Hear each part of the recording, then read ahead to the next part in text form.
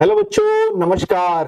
पूरी R W team की तरफ़ से आप सभी को और पूरी टीम को जैसा कि आप सब लोग एक साथ देखना चाहते हैं अपने एग्ज़ाम से जस्ट पहले तो उसी क्रम में, उसी सोच से ये हमने ये चीज़, ये मिशन चलाया था कि आप सभी टीचर्स की दुआएँ लेकर के जाएँ एग्ज़ाम में, क्योंकि जितना मन आपका होता है अपने टीचर्स से मिलने का, उतना ही मन हम लोगों का भी होता है आपसे मिलकर और आपको जो शुभकामनाएँ देने का।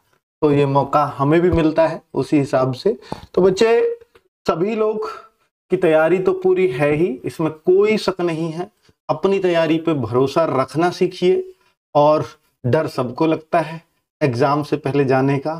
चाहे कोई 270 वाला बच्चा हो, चाहे कोई 170 वाला बच्चा हो, इसमें कोई भी अपने मन में ये नहीं पालना है कि मैं डर रहा हूँ, मुझे तो ऐसा लग रहा है कि जैसे मैं सब सत्तर वाला बच्चा हो, चाहे कोई 170 वाला बच्चा हो, इसमें कोई भी अपने मन में ये नहीं पालना है कि मैं डर रहा हूँ, मुझे तो ऐसा लग रहा है कि जैसे मैं सब कुछ भूल गया हूँ।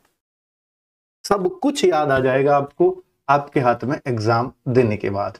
बच्चे, जब एग्ज़ाम सेंटर तक अगर हम पहुँचते हैं ना तो ये सारी चीज़ें हमारे दिमाग में चल रही होती हैं। और उस टाइम तक आप देखना, जब आपके हाथ में पेपर तक आने तक ना ठंड भी उतनी नहीं होगी, लेकिन एक कप कप इसी बंधी रहेगी।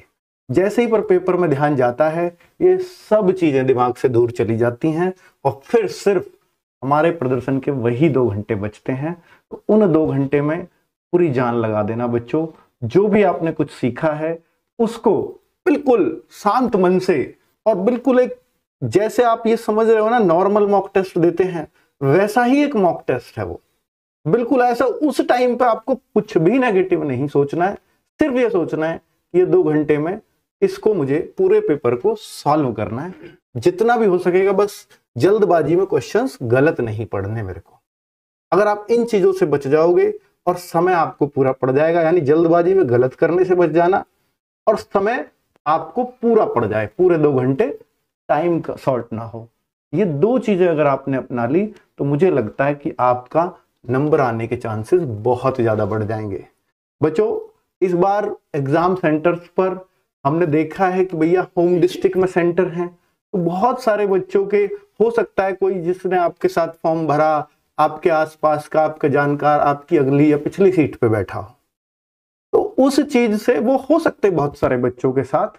ये और बहुत सारे सेंटर्स पे बात। तो बस एक बात ध्यान रखना यार, जो आगे बैठा है या पीछे बैठा है वो पहले अपना पेपर करेगा या आपका पेपर करवाएगा? इन चीज़ों में आपको क्लास का माहौल खराब, का माहौल खराब नहीं करना है, क्योंकि भर्ती बोर्ड भी सख्त है। उन्होंने ये लाइन जो एक लिखी है, इस बात पर भी कि भैया एक तीसरा पॉइंट है नोटिस जारी किया था कि जो क्लास के माहौल को भी खराब करेगा क्लास में नकल करेगा या करवाएगा, उसको परीक्षा से डिबार कर दिया जाएगा, यानी परीक्षा में बैठने नहीं दिया जाएगा, आगे से भर्ती बोर्ड की में किसी में। और उसके खिलाफ ज़रूरत पड़ी तो कानूनी कार्यवाही और एफआईआर तक की जा सकती है। तो बच्चों, ऐसी चीज़ों में माहौल खराब ना करें और अपना जितना पेपर आ रहा हो, उसको बहुत ध्यानपूर्वक करें। उसी में आपकी भलाई है, उसी में आपके आगे वाले की भलाई है, उसी में आपके पीछे वाले की भलाई है। ठीक है? इस बार बोर्ड बहुत सख्त है, बहुत सावधानी से पेपर करवाया जा रहा है। आप लोग उस सावधानी से कराने में बोर्ड का सहयोग करें, क्योंकि ये जो तैयारियाँ हैं या ये जो बोर्ड, भर्ती बोर्ड इतनी सख्ताई कर रहा है, ये इसीलिए ही की जा रही है कि अच्छे बच्चे या जो योग्य बच्चे हैं, जो लायक बच्चे हैं, वही सही जगह तक पहुँच पाए। तो इसमें सहयोग करना हमारा भी बनता है, आपका भी बनता है। तो बच्चे, सारे टीचर्स आपके सामने हैं। ज़रूर कुछ ना कुछ मैं चाहूँगा कि भैया ये भी कुछ बोलें और आप ज़रूर इनके मुखवाणी से ज़रूर कुछ ना कुछ सुनना चाहोगे ज़रूर। सीधी सी बात है तो मैं चाहूँगा कि भाई आप सभी टीचर्स जो है, बच्चों को थोड़ा शुभकामनाएँ अपने स्तर पर दें। तो पहले हम राहुल शर्मा सर को माइक देते हैं। रीजनिंग वाले सर आपके प्लीज़ नमस्कार दोस्तों। सबसे पहले तो आपको ऑल द बेस्ट आपके एग्ज़ाम के लिए। आप लोगों ने बहुत अच्छी मेहनत करी है, बहुत शानदार तरीके से तैयारी की है और अपना 100 परसेंट आप एग्ज़ाम में देकर आओगे। और एक बात का थोड़ा सा ध्यान रखना, जब भी आप किसी क्वेश्चन को कर रहे हो, आपको लग रहा है कि वो क्वेश्चन थोड़ा बहुत टाइम टेकिंग हो सकता है देखने में तो आप उससे बचने की कोशिश करना शुरुआत में। क्योंकि रीजनिंग में और मैथ में कुछ क्वेश्चन ऐसे आ जाते हैं जो टाइम टेकिंग होते हैं और जो परेशान करते हैं बच्चों को तो उनसे शुरुआत में बचना। उनको शुरुआत में आप स्किप कर सकते हैं और लास्ट में आपके पास समय बचे तो आप उनको कर लेना। दूसरी बात जब भी आप अपना आ, गोले भर रहे हो तो उसका बहुत ज़्यादा ध्यान रखना है कि आप मान लो ऐसा मत कर देना कि बीसवें क्वेश्चन का गोला आप इक्कीसवें में जाके भर दो। उससे चार पाँच क्वेश्चनों का नुकसान हो जाता है कभी कभी ठीक है? तो जब भी गोले भर रहे हो तो उसका थोड़ा सा ध्यान रखना। बीसवें क्वेश्चन का गोला उसके सामने बीस वाले में ही भरना। इस चीज़ को थोड़ा सा ध्यान से हम्म, रखना ठीक है? तो सभी को मेरी तरफ़ से all the best thank you Rahul sir बहुत अच्छा सजेशन आपने दिया बच्चों को। और ये बिल्कुल सामने लाइन वाली बात जो बोली है बीसवा क्वेश्चन आपने वहाँ पढ़ा है तो वो एक बार जैसे हम लाइन से भरते चले जाते हैं। सत्रह, अठारह, उन्नीस, बीस B C D A B C D A उसमें भरने लगे। लेकिन जो बी सी डी ए भर रहे हो तो ये भी देख लो, वो मिलान करके भैया, वो बीसवे पे आ रहा है या नहीं आ रहा है? वरना वो बच्चे पूरा करा कराया नाश है। एक बार अगर गलती हो गई तो फिर उसको मिटा भी नहीं सकते, फिर वो परमानेंट हो गया। ये नुकसान है ऑफलाइन का। ऑनलाइन होता है तो आप कितनी बार भी दूसरा टिक कर सकते हो। चलिए, ये सबके लिए खैर, सावधानी बरतना बस। चलिए, बहुत बढ़िया और मैं बहुत सारे बच्चों के कमेंट देख पा रहा हूँ कि देखिए, जितने सारे टीचर्स हैं, आप, मुझे पता है कि उनको तो ये तो आप सबके सामने बोलेंगे, इसलिए आप इनके बारे में नहीं पूछोगे। जो नहीं है यहाँ पर, उनका नाम ज़रूर ले आओगे। तो भाई, राहुल तेवतिया सर इसलिए नहीं है क्योंकि रात दो बजे तक उन्होंने आपकी क्लास ली है। और रात, पूरी रात वो सो नहीं पाए हैं। उनकी घर में सिचुएशन भी उस तरह की हैं। तो अभी, जस्ट अभी गए हैं वो साढ़े पाँच बजे यहाँ से। तो दीपक सर हमारे बीच हैं, वो बोल के गए हैं कि सर मैथ्स की ज़िम्मेदारी आपके ऊपर आप बोलना, बच्चों को जो भी है तो दीपक सर आपके बीच हैं और ये भी कल ही आए हमारे बीच महाराष्ट्र से आपको बधाई देने। चलिए, आगे की बात कर लेते हैं आप अजीत सर से। तो Ajit sir please thank you sir पहले तो मैं सभी बच्चों को शुभकामनाएँ दूँगा कि आप लोगों ने बहुत अच्छे से मेहनत की है, तैयारी की है, उसका परिणाम आप लोगों को बहुत अच्छे से मिलेगा।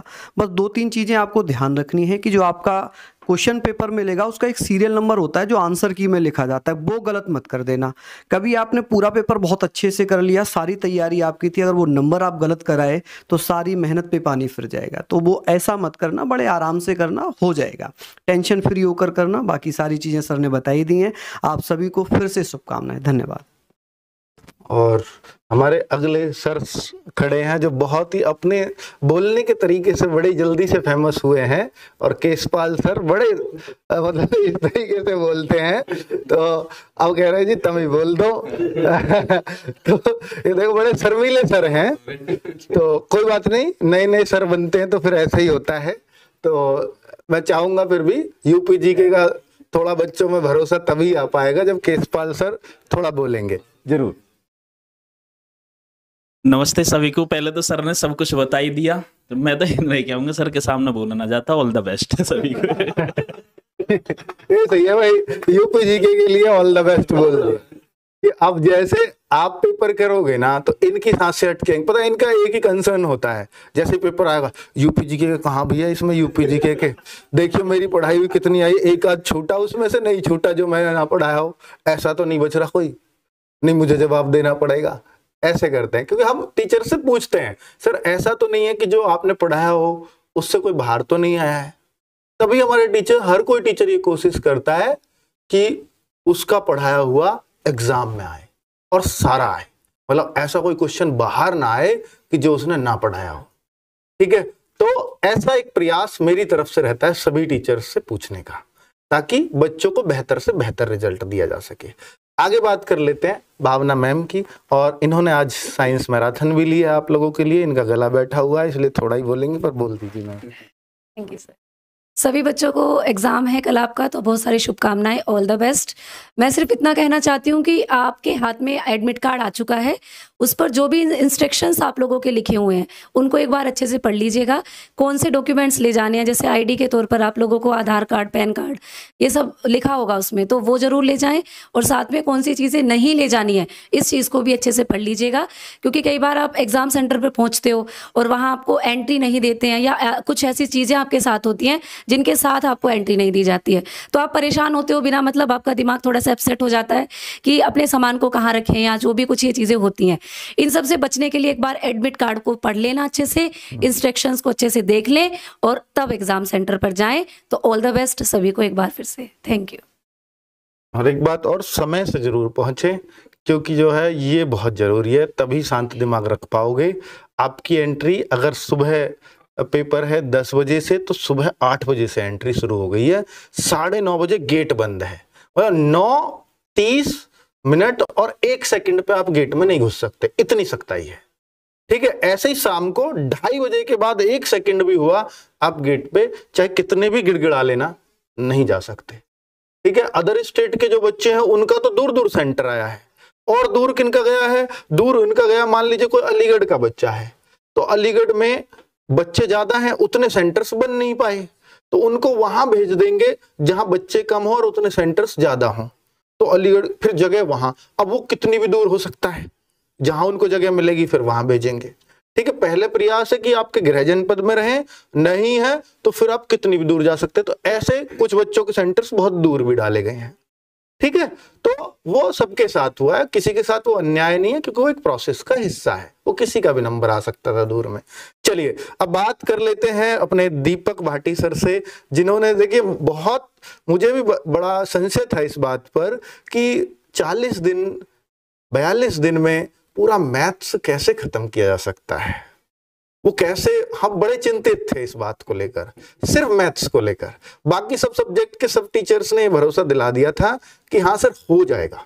थोड़ा सा प्रयास करेंगे, हो जाएगा। लेकिन मैथ्स की चिंता मुझे भी थी, क्योंकि भाई मैं भी मैथ्स का टीचर हूँ, मुझे भी पता है कि बच्चे को छोटी छोटी चीज़ें नहीं आती, वो भी समझानी पड़ती हैं तो बहुत सारा लंबा समय हो जाता है। मतलब क्लासेस निकल जाती हैं। तो दो घंटे सर ने लिए मैथ्स की डेली क्लास और रेगुलर लिए हैं। संडे मिला है तो उसमें भी लिए हैं। और यही हमारा प्रयास था कि मैथ्स बिल्कुल समय से खत्म हो जाए और सर ने वो करके दिखाया है। तो दीपक सर की दुआएँ आपके साथ रहें, आशीष रहें तो मैं चाहूँगा वो भी आपके लिए दो शब्द ज़रूर बोलें। हेलो बच्चों, नमस्कार। भाई, सबसे पहले मैं ये कहना चाहूँगा कि आयोग ने आप लोगों को बहुत कम समय दिया तैयारी का तो इसमें बहुत बड़ी संख्या में लोगों ने तैयारी शुरू में ही छोड़ दी कि हमसे नहीं हो पाएगा। तो आप लोगों ने अपने आप को संभाला और इतने कम समय में, चाहे यूट्यूब की क्लासेस हो, चाहे ऐप की हो, चाहे मैराथन हो, अपना हंड्रेड टू हंड्रेड परसेंट दिया। बच्चे, अब अंत समय में मैं यही कहूँगा कि कल आने वाले एग्ज़ाम में आपकी जो मेहनत है, पिछले डेढ़ दो महीने में जितना भी आपने, जितने भी घंटे आप पढ़े हो, वो पूरी पूरी रिफ्लेक्ट होगी और शत प्रतिशत आप उसमें मार्क्स कर रहे होंगे, अपनी मेहनत, आपकी मेहनत बेकार नहीं जाएगी, ठीक है? तो मेरी तरफ़ से आप सभी को ऑल द बेस्ट अच्छे से परफॉर्म करना। बहुत बढ़िया, सर। और ममतेज सर, क्यों छुपे हुए हो? आ जाओ यार, आपने हिंदी में बहुत ज़ोर लगाया है। नवीन सर के बाद हम बड़े चिंतित थे कि नवीन सर के बाद किसको दें हिंदी और क्या बच्चे एक्सेप्ट कर पाएँगे? तो नवीन सर ने भी बोला, बच्चों ने भी विश्वास दिलाया, बच्चों को भी विश्वास उन्होंने दिलाया। दूसरी बात, इन्होंने बहुत सारे प्रैक्टिस सेट्स आपके यूट्यूब पर फ्री भी लिए। तो बच्चों ने वहाँ भी इनके पढ़ाने की शैली देखी तो हमने ऐसे ही एक दिन में खड़े नहीं कर दिया आपके सामने इनको। और वास्तव में जो जान इन्होंने हिंदी के उस बैच में लगाई है, वो काबिल तारीफ़ है। इसका आपको कल रिज़ल्ट भी मिलेगा जब आप एग्ज़ाम दोगे या आपके सामने इनको। और वास्तव में जो जान इन्होंने हिंदी के उस बैच में लगाई है, वो काबिल तारीफ़ है। इसका आपको कल रिज़ल्ट भी मिलेगा जब आप एग्ज़ाम दोगे, या एग्ज़ाम नहीं भी दोगे, मान लो जिनका परसों को एग्ज़ाम है तो एग्ज़ाम पेपर देखते ही आपको पता लग जाएगा कि वास्तव में कि ममतेज सर ने बहुत जादू बिखेरा है। चलिए ममतेज सर प्लीज़ प्यारे बच्चों, नमस्कार। सबसे पहले तो मैं अंकित सर का और सभी अपने अध्यापकों का धन्यवाद करना चाहूँगा कि इन्होंने मुझे इस लायक समझा कि मैं आप लोगों को शिक्षा दे पाऊँ। एक प्लेटफॉर्म दिया अपना उसके लिए मैं इनका ऋणी और सबसे धन्यवाद। और मैं इतना ही कहना चाहूँगा कि आप एग्ज़ाम को करते समय क्वेश्चन को पूरा ज़रूर पढ़ लीजिएगा क्योंकि हिंदी में जब पर्यायवाची आते हैं तो उस पर्यायवाची में नहीं वाला ज़्यादातर पूछा जाता है प्रश्न में ताकि बच्चा ह- और हल्का पर्यायवाची होता है ज़्यादा हार्ड भी नहीं होता। तो उसको देख करके बच्चा एकदम खुश हो जाता कि ये तो बहुत हल्का पूछ लिया। आधे प्रश्न को पढ़ करके वो एकदम तुरंत गोला काला कर देता और वो बाद में जब आंसर की मिलाता तब उसको पता चलता कि इसमें तो नहीं था हमने हाँ का दे दिया। और यही बहुत बड़ी गलतियाँ हाँ ये सबसे बड़ी गलती हो जाती हिंदी में नहीं हर एक प्रश्न को पूरा पढ़े। मैं तो यही कहना चाहता हूँ। तो आपके एग्ज़ाम के लिए बहुत बहुत शुभकामनाएँ और अपने एग्ज़ाम को अच्छे से करिएगा। बाकी आप लोगों ने बहुत मेहनत की है उसका परिणाम आपको कल मिल जाएगा। धन्यवाद। बहुत बढ़िया जो है ममतेश सर और अब मैं चाहूँगा दिग्विजय सर आए, दिग्विजय सर। तो बहुत देर से बच रहे हैं हर बार उस तरफ़ को हो जाते हैं और एक कदम तो लेकिन आपको शुभकामनाएँ देने आगरा से आए हमारे बीच। आगरा से एक क्लास ले रहे होते हैं डेली, लेकिन इस वीडियो की वजह से आपके बीच हैं और बहुत प्यारे सर हैं, बहुत गोलू मोलू सर आप इनको बोलते हो तो है भी तो आप जो है अ, मैं कहूँगा कि जो है आप दिग्विजय सर बच्चों को बहुत अच्छा गाइड भी करते हैं। मतलब जो जैसे नवीन सर फ़ेमस हैं कि वो लाइफ के लिए गाइड करने के लिए ऐसे दिग्विजय सर भी बहुत अच्छे से चीज़ों की नॉलेज रखते हैं और बहुत अच्छे से गाइड करते हैं। तो मैं चाहूँगा यहाँ भी ज़रूर sir. Thank you sir thank you देखो बच्चों बाकी तो सारी बातें बता ही दी आपको जो एग्ज़ाम रिलेटेड है। मैं बस लास्ट बात आपसे ये बोलूँगा कि जैसे जब आपके पास क्वेश्चन पेपर आएगा तो वो अलग अलग सेट होंगे। ठीक है किसी को ए सीरीज़ मिलेगी किसी को वो बी किसी को सी किसी को डी इस तरह से मिलेंगी। तो कभी कभी ये होता है कि किसी सेट में शुरुआती जो क्वेश्चंस होते हैं वो टफ हो जाते हैं। किसी सेट में शुरुआती क्वेश्चन ठीक है इतने ज़्यादा टफ नहीं होते इजी होते हैं।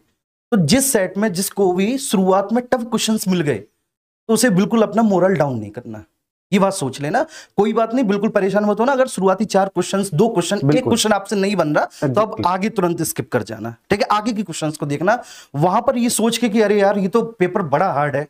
लेकिन मुझसे जब शुरुआती चार क्वेश्चंस नहीं हो रहे तो आगे तो मुझसे होंगे ही नहीं। तो वो शुरुआत में जैसे आप अपनी मेंटेलिटी बना लेते हो ना वो आगे तक फिर आपका वैसे ही परफॉर्मेंस होता है। तो बस एक ये बात बची हुई थी तो जो मैंने आपके बीच में रख दी।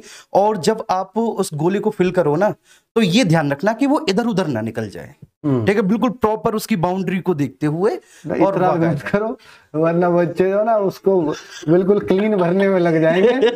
तो हाँ हाँ और वॉल पेन का तो यूज़ करना है वॉल पेन का जिसका थोड़ा बहुत बाहर में निकल जाएगा वो चल जाता है।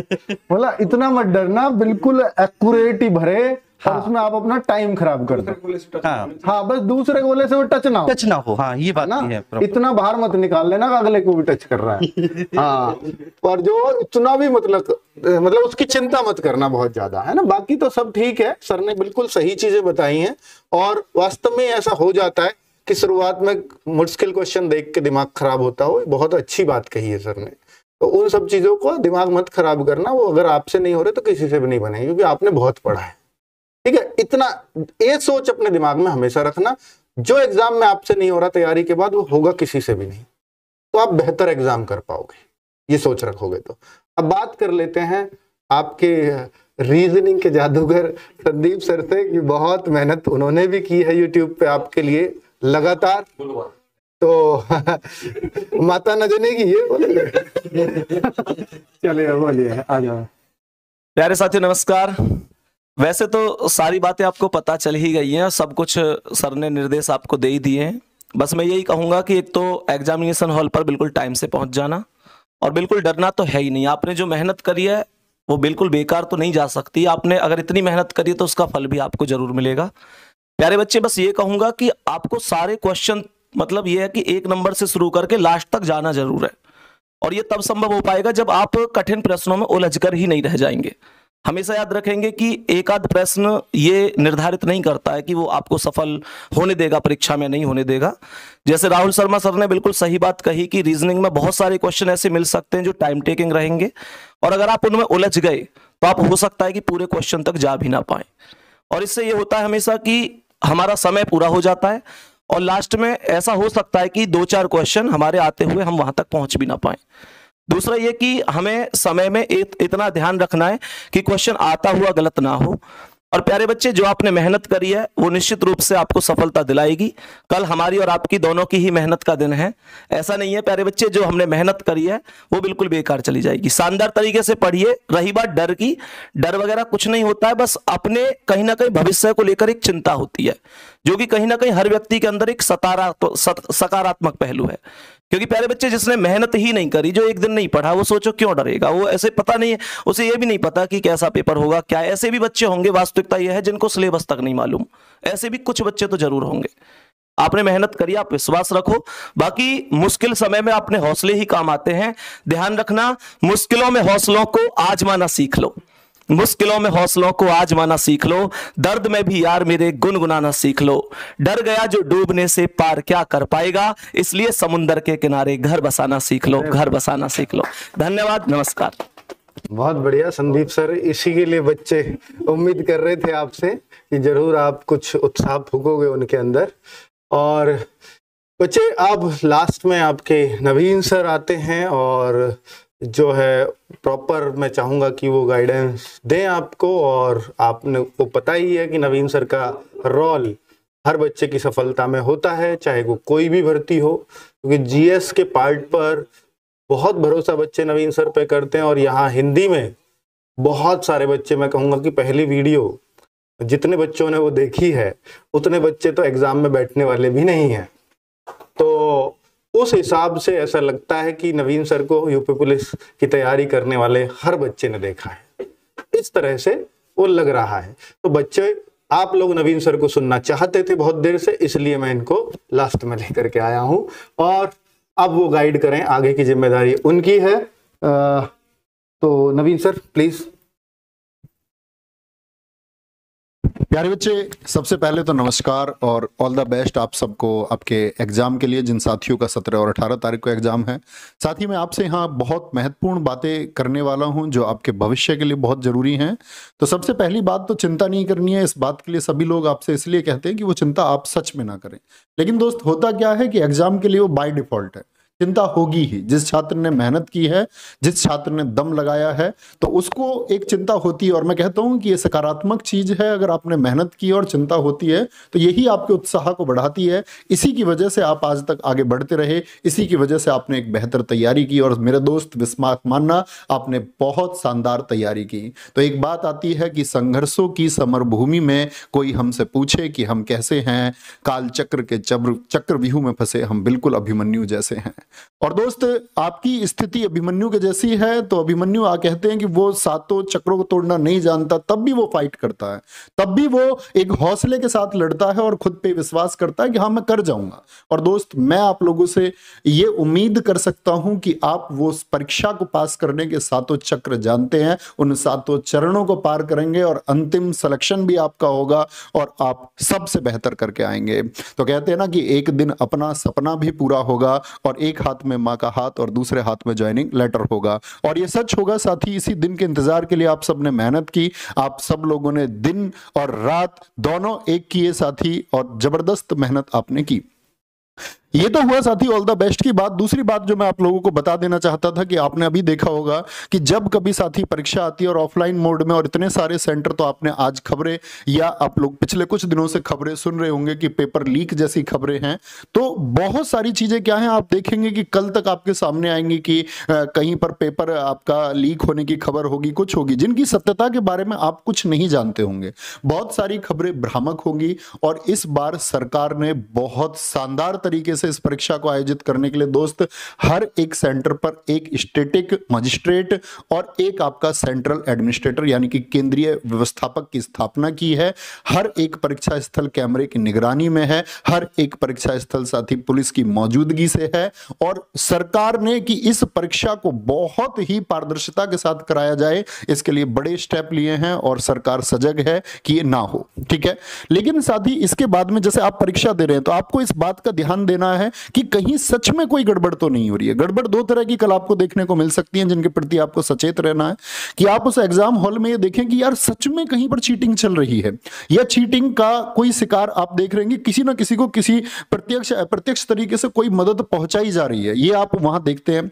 दूसरी चीज़ हो सकती है कि साथ ही आपसे आपका कई ऐसा हुआ है कि जिन बच्चों ने फॉर्म सात भरे उनका सेंटर भी एक जगह चला गया है और पास ही में सेंटर भी चला गया है। तो ऐसा भी हो सकता है कि आप अपने दोस्त, आपके पड़ोसी, आपका गाँव का कोई बच्चा आपसे परीक्षा में प्रश्न पूछे, आप उसको बताने में इंडल्ज हो, आप उसको बता रहे हैं, साफ़ तौर से सरकार ने निर्देश दिए हैं। इस प्रकार की कार्यविधि में कोई भी छात्र यदि आपका संलिप्त पाया जाता है तो उसकी जो कैंडिडेचर है, यानी कि आपका साथी जो ये कैंडिडेचर आपने यूपी पुलिस के लिए किया, इसको कैंसिल कर दिया जाएगा और आगामी किसी भी परीक्षा के लिए आप फिर वैध नहीं हो पाएँगे, यानी आप बैठ भी नहीं पाएँगे किसी और परीक्षा में। ठीक है? इस बार तो गए।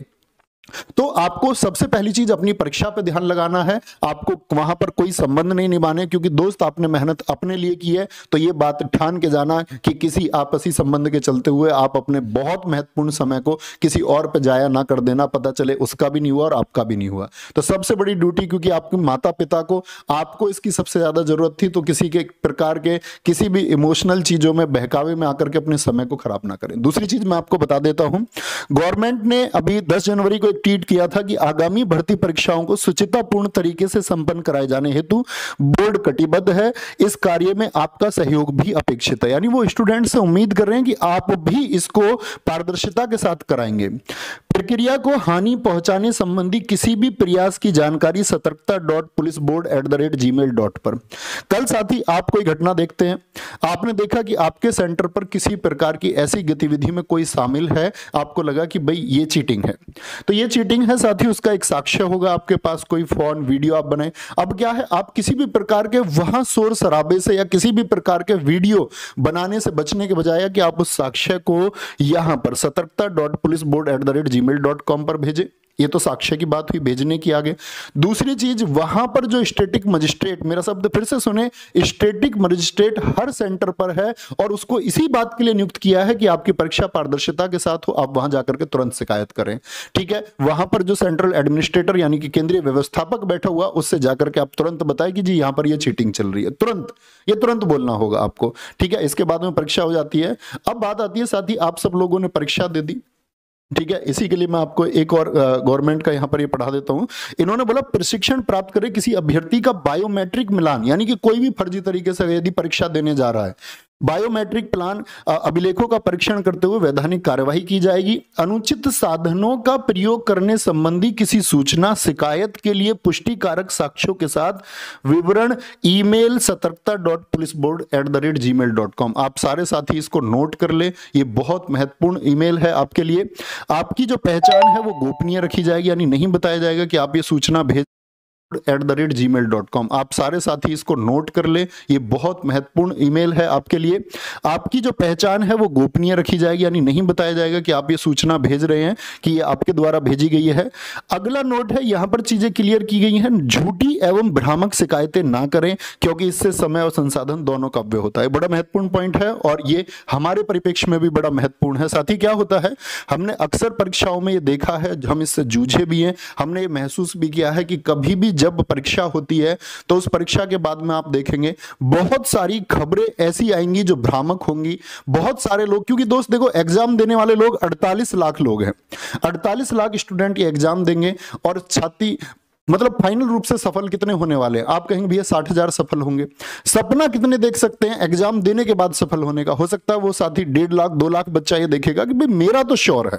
मेरा सिलेक्शन तो होके रहेगा। मान के चलो, दो, ढाई, तीन लाख बच्चों ने मान लिया कि, भाई, मैं सिलेक्शन की दौड़ में शामिल हूँ। अब बाकी अड़तालीस में से तीन लाख माइनस यानी पैंतालीस लाख बच्चे जिनकी परीक्षा बेकार हो जाती है या जिनको उम्मीद नहीं रहती, उनका नंबर आता है तो वो क्या करने लगते हैं? इस तरह की खबरों को बहुत ज़्यादा फैलाने लगते हैं कि, भाई पेपर कैंसिल हो या ये दोबारा दोबारा होना चाहिए उस तरह की खबरों को क्योंकि उनका नंबर ज़्यादा होता है। और ऐसे में क्या उभर के आते हैं? कुछ आपका लोग जो YouTube पर ऐसी वीडियोस बनाते हैं कि उनको आपका जो सपोर्ट मिले क्योंकि वो उनके लिए एक मौका होता है। वो ऐसे ही समय पर लोग आपको जागरूक होते हुए दिखेंगे। वो आपको पहले कभी नहीं दिखेंगे ना बाद में। इस समय पर वो जागरूक होंगे और आपके हितैषी बनने का प्रयास करेंगे और आप भावनात्मक रूप से उनकी तरफ़ चले भी जाते हैं। क्योंकि दोस्त आप जानते हैं कि हम इसको मानसिक रूप से झेल चुके हैं और शायद शायद ये बार बार होता है बार बार होता है। तो आप लोगों से प्लीज़ मेरी रिक्वेस्ट है कि आपको कोई भी अगर शक होता है किसी एक चीज़ पर, कोई व्यक्ति बोलता है तो किसी के बहकावे में नहीं आना है कि भाई किसी ने कुछ बोल दिया तो आप उसके, आपको ठोस तथ्यों के साथ में कि हाँ सच में इस बात का कोई प्रूफ है।